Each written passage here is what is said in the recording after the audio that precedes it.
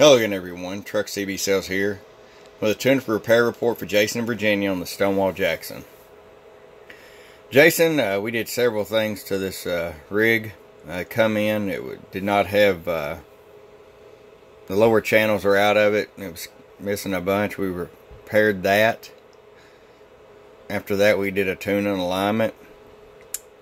Uh, we found the power supply to be uh, subpar. Had about 100 watts of output. So we replaced the power supply, did an upgrade on it. Also um, found that uh, one of the two transistors in the amplifier section uh, due to heat was defective.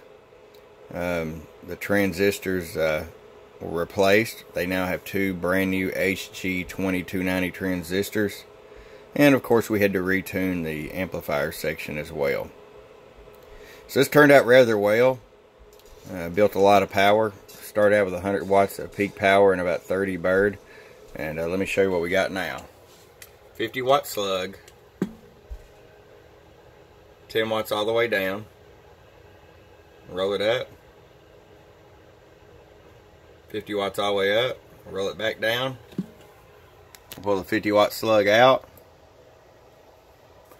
I'll put a 250 watt slug in. I'm going to show you average power swing reading the top scale. Hello. Oh, almost 90 bird average. Look at peak power. Hello.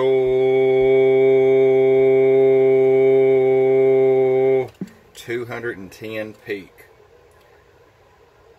Alright. So you see, this thing is ready to rock and roll. Hope you enjoy it, Jason. Oh, and we also went ahead and deactivated the talkback when the echo was on. And uh, did the sideband modification also. So we're good on sideband as well. Hope you enjoy it, Jason, for your friend Truck at truckcbsales at gmail.com. Bump bump.